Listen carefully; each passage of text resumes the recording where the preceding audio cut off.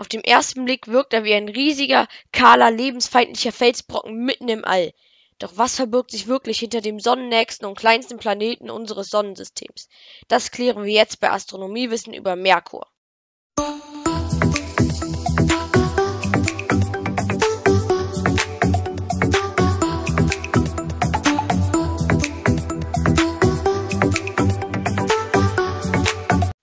Hallo und herzlich willkommen zu der heutigen Ausgabe von Astronomiewissen. Wie bereits gesagt, geht es heute um den Planeten Merkur. Kommen wir nun zu den allgemeinen Informationen über Merkur.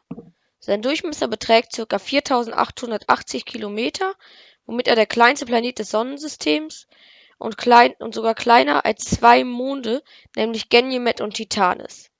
Seine Durchschnittstemperatur beträgt ca. 167 Grad Celsius wobei es eine starke Differenz zwischen Tag- und Nachtseite gibt. Auf der Tagseite wird es nämlich ca. 430 Grad Celsius warm und auf der Nachtseite ca. minus 170 Grad Celsius. Und das heißt, wir haben eine Differenz von ca. 600 Grad Celsius zwischen Tag- und Nachtseite. Noch dazu zählt Merkur zu den erdähnlichen sogenannten terrestrischen Planeten, also zu den vier inneren kleinen Gesteinsplaneten des Sonnensystems, zu denen auch die Erde gehört und die wir auch hier alle vier sehen können. Noch dazu hat Merkur keinen Mond und zeitweise wurde sogar aufgrund seiner besonderen Bahn um die Sonne und seiner Ähnlichkeit mit dem mit unserem Mond spekuliert, dass er möglicherweise mal ein Mond des Planeten Venus war. Kommen wir nun zu der Umlaufbahn des Merkur um die Sonne. Seine durchschnittliche Entfernung zur Sonne beträgt ca. 58 Millionen Kilometer. Zum Vergleich bei der Erde sind es ca. 150 Millionen Kilometer. Also ist Merkur ein bisschen mehr als ein Drittel so weit von der Sonne entfernt wie die Erde. Damit ist er der nächste Planet an der Sonne. Allerdings besitzt er eine sehr exzentrische Bahn mit einer Exzentrizität von ca. 20 Prozent. Das bedeutet, äh, dass der, also dass der der sonnennächste Punkt, also der sogenannte Perihel, 20% näher an der Sonne dran ist als der sonnenfernste Punkt, der sogenannte Aphel.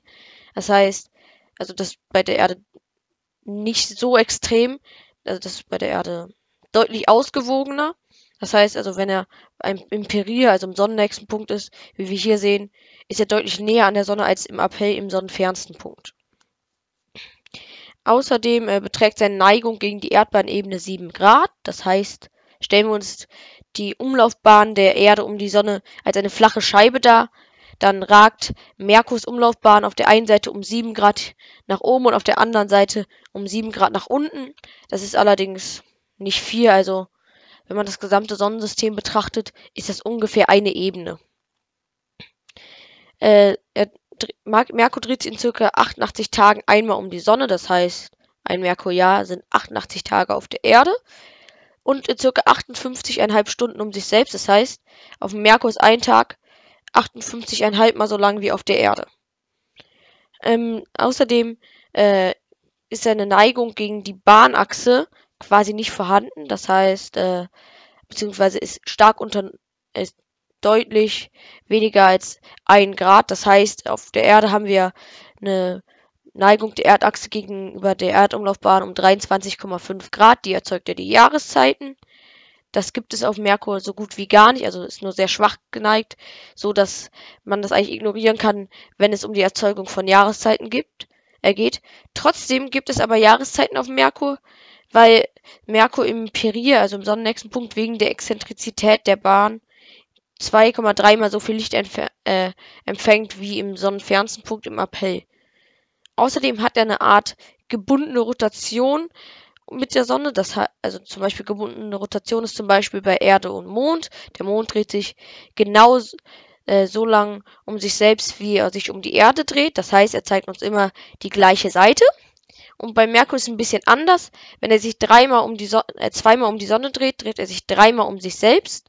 Das heißt, äh, das sorgt dafür, dass wenn er äh, sich einmal um die Sonne dreht, hat er sich ein, anderthalb Mal um sich selbst gedreht. Das heißt, wenn ein Punkt am, also wenn, wenn jetzt ein Punkt äh, genau von der Sonne weg zeigt, dann dreht er sich einmal, dann dreht sich der Merkur einmal um die Sonne, dann zeigt er genau auf die Sonne der Punkt. Und dann dreht, er, dreht sich der Merkur wieder um die Sonne, dann zeigt er wieder genau weg. Ähm, die, außerdem, durch diese hohe Exzentrizität ist es auch so, dass die Geschwindigkeit des Merkur äh, sehr stark variiert. Also wenn er sich um die Sonne dreht, wenn er näher an der Sonne dreht, äh, wenn er näher an der Sonne ist, ist die Geschwindigkeit deutlich höher, als, äh, als wenn er weiter von der Sonne weg ist. Und das bedeutet, dass eben äh, die Rotationsgeschwindigkeit um sich selbst im Perihel kleiner ist als die äh, Bewegungsgeschwindigkeit um die Sonne. Und das sorgt teilweise dafür, dass die Sonne eben aufgeht, ein bisschen über den, ein bisschen über den Horizont kommt, dann wieder untergeht und dann nochmal aufgeht. Außerdem gibt es die, das, den sogenannten Effekt der Perieldrehung. Das heißt, äh, der Periel, also der sonnennächste Punkt des Merkur, äh, dreht sich bei jedem Umlauf ein bisschen mit um die Sonne. Das heißt, äh, wenn man zum Beispiel hier den Punkt erst hat, im, also der, hier ist der sonnenfernste Punkt zum Beispiel, der dreht sich natürlich auch mit.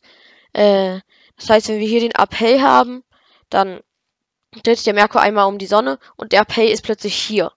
Und es geht dann so weiter, bis, er, bis der Appell sich wieder einmal um die Sonne gedreht hat.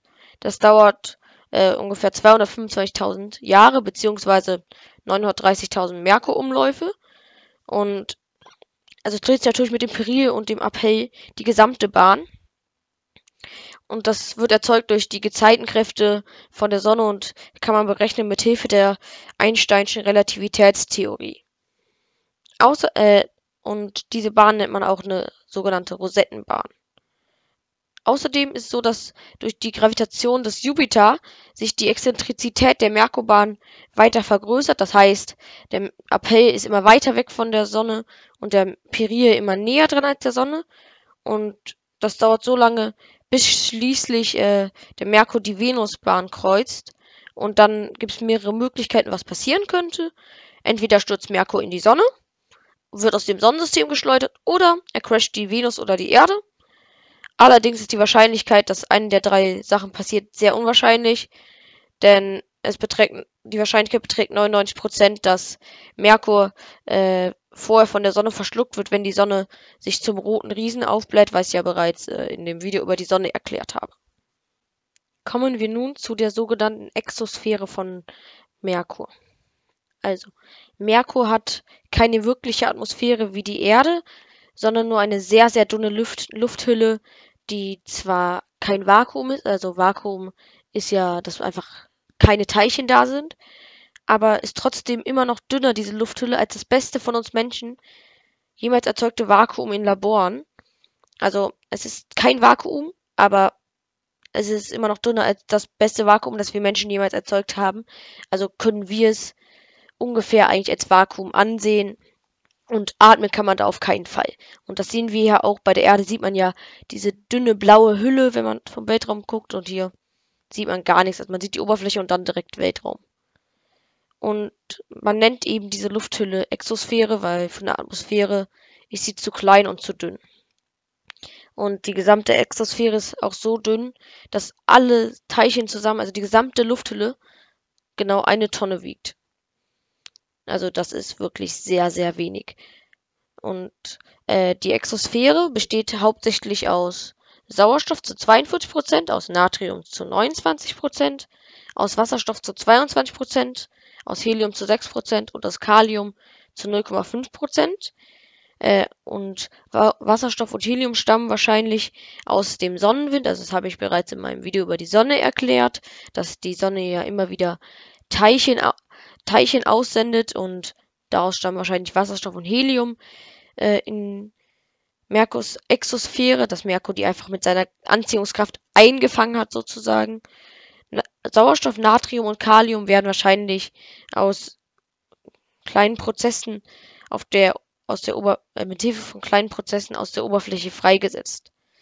Ja, wie dünn diese Exosphäre ist, sieht man auch noch daran, dass ihr Druck äh, kleiner als 5 mal 10 hoch minus 15 bar, also 5 Femtobar ist.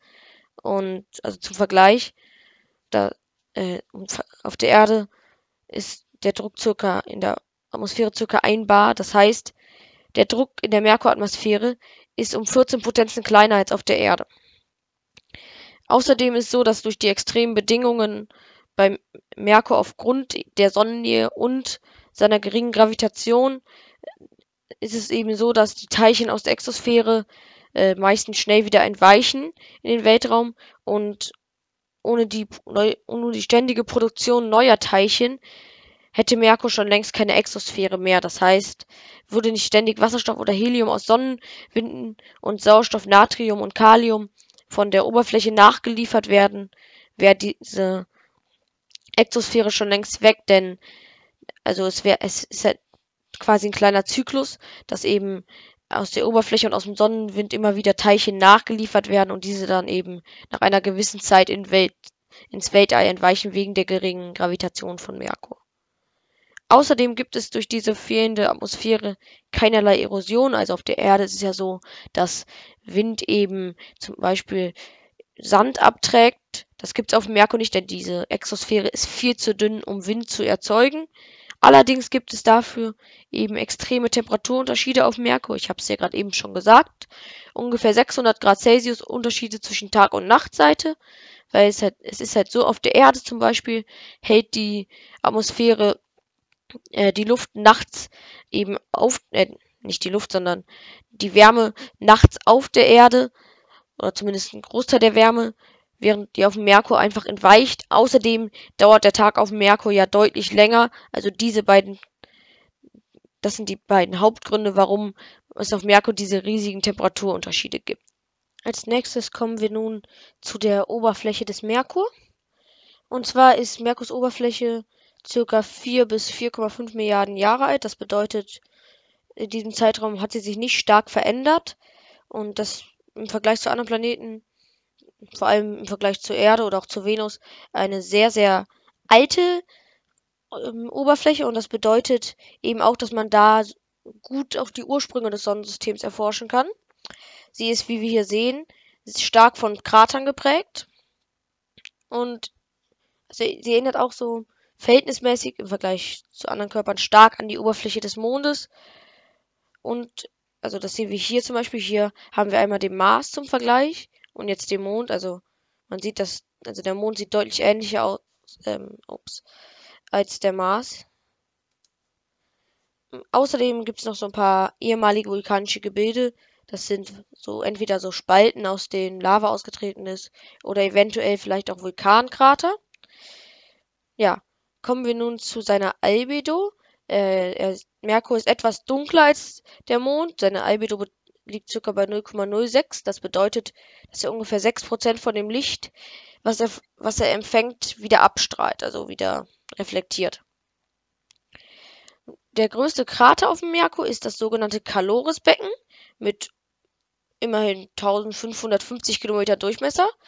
Der Einschlag im Caloris-Becken fand wahrscheinlich vor so 3,8 Milliarden Jahren statt und war tatsächlich so stark, dass er die Merkuroberfläche bis auf der anderen Seite erschütterte und dort auch so zerrüttete, weshalb dort dann ein chaotisch geformtes und zerrüttetes Gebiet entstand und die vorherige Struktur zerstört wurde. Das heißt, der, der Einschlag war eben so stark, dass er nicht nur auf der einen Seite einen Kra riesigen Krater erzeugt hat, sondern sogar auf der anderen Seite die Oberfläche so also zerrüttet hat, dass da Risse und alles waren. Und das mit dem, also dem Krater auf der einen Seite und den Rissen auf der anderen Seite ist eben eine einzigartige Struktur im Sonnensystem. Auch auf dem Merkur gibt es, wie auf dem Mond, äh, sogenannte Maria. Also, wie, also ich denke, jeder hat mal von den sogenannten Mondmeeren gehört. Das sind halt so ehemalige Krater, die mit Lava gefüllt worden sind. Und die Lava ist dann halt erstarrt und sieht halt ein bisschen dunkler aus, zumindest auf dem Mond, als äh, der Rest der Oberfläche, deshalb kann man die gut erkennen. Ja, wenn wir hier zurückgehen, sehen wir auch das hier, sind diese Mondmeere und da sieht man da nicht so viele Krater drin wie hier. Das aber nur am Rande. Und das, also, der größte Unterschied zwischen, den, äh, äh, zwischen den Meeren auf dem, ja, zwischen dem Maria auf dem Mond und auf dem Merkur ist, dass es auf dem Merkur die im Vergleich zu zum Rest der Oberfläche deutlich heller sind, weil sie eine etwas andere Zusammensetzung haben. Außerdem gibt es auf dem Merkur auch äh, Steilwände, also das heißt, das sind einfach so Strukturen, die sich durch die Oberfläche einfach durchziehen und das heißt, da hat man plötzlich einfach so eine Wand, die ein paar Kilometer in die Höhe ragt Und das liegt daran, dass der Merkur eben vor circa 4 Milliarden Jahren durch Abkühlung stark geschrumpft ist. Also der Kern ist, hat sich zusammengezogen, weil er abgekühlt ist. Und das heißt, es gab weniger Oberfläche und irgendwo musste das Gestein dann hin. Und da, wenn man natürlich so einen Unterschied hat, dann erzeugt diese Steilwand nochmal mehr Oberfläche. Und deshalb ist das eben passiert. Und ja, also die sind auch einfach äh, zufällig treten die Landschaft auf, unabhängig von irgendwelchen Kratern oder so und sind mehr, bis zu mehreren Kilometern hoch. Außerdem gibt es auch ein paar Ebenen, also flache Hochländer, wo es eher wenige Krater gibt, die sich eher so zwischen den Kratern befinden. Das die sogenannten Zwischenkraterebenen kann man hier zum Beispiel, hier sind wenige Krater. Und ja, dann gibt es auch Eis auf dem Merkur tatsächlich, also Wassereis. Und zwar, es, also es ist zwar sehr heiß am Tag auf dem Merkur, also wir haben gesehen, über 430, ähm, bis zu 430 Grad am Tag. Und auch, ähm, also ist ja auch näher, er ist ja auch sehr nah an der Sonne. Trotzdem gibt es da Wassereis. Und zwar in Kratern in der Nähe der Pole, wo dann eben, je nachdem, also wo es dann, wo dann eben diese Wände von Kratern, wir sehen das hier, so hoch sind, dass die Sonne, egal von wo sie strahlt, niemals in diesen Krater reinkommt. Das heißt, es bleibt da immer ganz kalt. Wir haben ja gesehen, ähm, auf der Nachtseite wird es bis zu minus 170 Grad. Da kann dann Eis, da kann Wasser natürlich gefrieren. Das heißt, obwohl Merkur so nah an der Sonne ist und, am, und es am Tag so heiß wird auf dem Merkur, gibt es da tatsächlich Wassereis. Und wir sehen das hier gelb eingezeichnet. Also manche Krater sind sogar voll mit Wassereis. Wobei, man muss sagen, das Eis ist wahrscheinlich mit Staub bedeckt und deshalb schwieriger zu erkennen, aber es gibt auf jeden Fall Wassereis selbst auf dem Merkur. Und das ist eben auch so eine Erkenntnis, dass egal wo im Sonnensystem, es gibt fast überall Wasser und Wasser ist eigentlich sehr häufig. Außerdem hat man auch äh, komplexe organische Verbindungen entdeckt, die den Grundbaustein von Leben bilden. Also selbst auf dem Merkur, auf diesem lebensfeindlichen Felsbrocken, gibt es äh, mehrere Voraussetzungen für Leben, auch wenn man da natürlich ohne irgendwelchen Schutz nicht überlebt. Und es gibt noch eine einzige Hochebene auf Merkur und die wird Catuia Planum genannt. Jetzt geht es als nächstes um den Aufbau des Merkur. Nun, erstmal vorab die allgemeinen Dinge zum Aufbau des Merkur. Er ist ein terrestrischer Planet, also ein erdähnlicher Planet, und das bedeutet, wie bereits gesagt, dass er äh, überwiegend aus Gestein besteht. Und das, das, sehen wir hier auch. Hier ist einmal der Kern, besteht aus Gestein, der Mantel besteht aus Gestein. Die Kruste besteht aus Gestein und hier haben wir noch diese ganz dünne Exosphäre, habe ich ja bereits gesagt, aber die wiegt ja eine Tonne und der Merkur wiegt, keine Ahnung, irgendwas mit 10 hoch 26, also irgendwas mit 10 hoch 20 oder sowas. Also mehr als 10 hoch 20 Kilogramm und da macht eine Tonne nichts aus. Das heißt, er besteht so gut wie nur aus Gestein. Außerdem, also das überraschend, er besitzt eine sehr große Dichte für seine Größe. Also, wenn man die vier Gesteinsplaneten so aufträgt, haben wir einmal die Erde, ist der größte Gesteinsplanet, hat die größte Dichte. Außerdem haben wir äh, den zweitgrößten Planeten Venus, ist ein bisschen kleiner als die Erde, hat eine bisschen kleinere Dichte. Dann haben wir noch äh, den Mars, ist deutlich kleiner als die Venus, hat eine deutlich kleinere Dichte. Merkur ist deutlich kleiner als der Mars, sollte eigentlich nochmal eine deutlich geringere Dichte haben, hat aber na, knapp nach der Erde die zweitgrößte Dichte von einem Gesteinsplaneten. Und das heißt, er fällt so ein bisschen aus der Reihe. Also als erstes kommen wir zum Kern. Das sehen wir hier auch direkt. Der macht einen großen Teil davon aus, vom Merkur. Deshalb, also ist der größte Bestandteil von Merkur.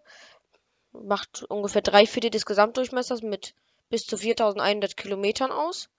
Und er besteht hauptsächlich aus den schweren Elementen Eisen und Nickel, woher auch äh, die hohe Dichte von Merkur kommt. Also er hat eben im Vergleich zu den anderen Gesteinsplaneten einen sehr großen Kern, zumindest im Verhältnis zu seiner Gesamtgröße. Und deshalb ist, hat er auch so eine hohe Dichte. Außerdem hat, danach kommt der Mantel, den sehen wir hier, beziehungsweise, ja, und äh, er, er ist ca. 600 Kilometer dick und besteht vor allem aus Silikatgesteinen, die auch auf der Erde vorkommen. Dann ist, haben wir hier die Kruste, die einige 10 Kilometer dick ist. Die ähnelt dem Basaltgestein der Erdkruste. Also die ähnelt vom Gestein her der Erdkruste. Und ja, es gibt halt einige Theorien, warum Merkur fast nur haupt, fast hauptsächlich aus dem schweren Kern besteht. Und die populärsten gehen davon aus, dass Merkur früher mal einen viel größeren Mantel und eine Kruste hatte. Und die ging allerdings auf irgendeine Weise verloren, zum Beispiel durch eine Kollision oder durch, äh, dadurch, dass er noch näher an der Sonne war und die einfach verdampft sind. Also gibt es verschiedene Theorien dazu, warum das verschwunden ist, aber die meisten gehen davon aus, dass Merkur früher einen viel größeren Mantel hatte. Als nächstes behandeln wir jetzt das Magnetfeld. Und zwar äh, beträgt die Stärke des Magnetfelds des Merkur ca. 1% des Erdmagnetfelds. Das heißt, ist deutlich schwächer, aber trotzdem äh, überraschend stark für einen so kleinen Körper. Ähm, aber dadurch, dass eben deutlich schwächer ist, erreicht an manchen Stellen der Sonnenwind, wenn er stark ist, trotzdem die Oberfläche und was Strahlungsbelastung angeht, ist es, kann es da schon gefährlich werden auf dem Merkur.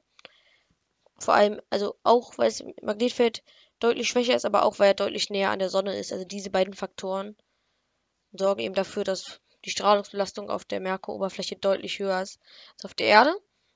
Nun, dieses Magnetfeld wird wahrscheinlich durch ein Dynamo im Inneren des Kerns erzeugt, weil sich dort wahrscheinlich flüssiges Gestein so bewegt, ähnlich wie auf der Erde. Das ist zumindest die Theorie.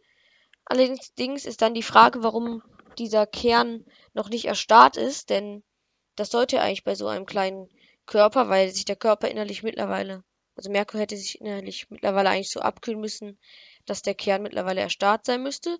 Bei Mars zum Beispiel, der nochmal deutlich größer ist als der Merkur, ist der Kern schon seit Milliarden Jahren erstarrt. Und man weiß es noch nicht, aber es gibt mehrere Theorien. Zum Beispiel, dass möglicherweise Schwefel in das Eisen und das Nickel im Kern eingemischt ist und somit deutlich die Schmelztemperatur senkt und damit das Gestein immer noch teilweise flüssig ist und es immer noch Bewegung im Kern gibt. Kommen wir nun als Letztes zur Geschichte bzw. Entwicklung von Merkur. Den Anfang von Merkur habe ich schon im Video über das Sonnensystem erwähnt. Ich werde ihn jetzt trotzdem nochmal so, ja, nochmal erwähnen. Einfach zu Voll der Vollständigkeit halber. Und zwar war es so, vor ca. 4,5 Milliarden Jahren haben sich in einer Scheibe um die Sonne, wie es hier sichtbar ist, äh, eben die Planeten gebildet, in also es war eine Scheibe aus Gas und Staub und die Planeten haben eben ja, die haben, die haben Gestein und Staub eben angezogen und sind quasi weiter gewachsen, haben immer mehr von diesem Staub und Gestein eingesammelt und sind so immer weiter gewachsen. So, so ist auch Merkur entstanden. Merkur war am Anfang äh, auf der Oberfläche aufgeschmolzen und zwar aufgrund der Hitze durch Radioaktivität und der Hitze, die bei den vielen Kollisionen mit anderen Körpern entstand, weil da entsteht ja viel Energie und in der Zeit gab es eben noch viele Kollisionen und das heißt, es gab sehr viel Energie und deshalb ist, war eben alles aufgeschmolzen und komplett heiß, also eher lebensfeindlich. Und ähm, am Ende dieser Phase, vor ca. 4,4 Milliarden Jahren, ist, äh, hat Merkur sich dann innerlich in Kern, Mantel und Kruste ausdifferenziert. Das bedeutet, dass eben sich äh, diese, also zum Beispiel Eisen und Nickel haben sich eben im, eher im Inneren vom Merkur, im Kern gesammelt. Äh, die, die Silikatgesteine haben sich im Mantel gesammelt und die Basaltgesteine in der Kruste. Das heißt, diese Elemente waren vorher total vermischt und haben sich so ein bisschen voneinander getrennt und haben ihre eigenen Schichten gebildet. Außerdem äh, ist die obere Schicht, also die Kruste, die hat sich, die ist ausgekühlt und hat sich verfestigt. Das heißt, Merkur hatte ab dann eine feste Oberfläche. In der nächsten Phase äh, wurden die Spuren dieser ersten Phase eben verwischt, vor, vor allem wahrscheinlich durch frühen, durch eine Phase des frü ersten frühen Vulkanismus. Und in dieser Zeit entstanden eben durch den Vulkanismus auch die Zwischenkraterebenen und in der Phase schrumpfte auch Merkur und es, stand, es, stand, und es entstanden eben diese sichtbaren Folgen der Schrumpfung, also zum Beispiel die Steilwände. Dann die nächst, in der nächsten dritten Phase gab es wieder viele Einschläge, äh, viele Kollisionen, also war wieder eine Zeit schweren Bombardements. Dort in, und in dieser Phase entstanden eben viele der heute sichtbaren Krater, unter anderem auch das Kalorisbecken. Dann gab es wieder starken Vulkanismus in der nächsten Phase und das war, also, Da entstanden dann auch die Mare-Gebiete, also da ist viel Lava ausgetreten und vor allem, also die hat sich natürlich vor allem in Kratern gesammelt, weil die Krater eben tiefer liegen als der Rest der Oberfläche und haben die dann eben ausgefüllt, wodurch dann eben diese Mare-Gebiete entstanden. Nun kommen wir nun zur letzten Phase.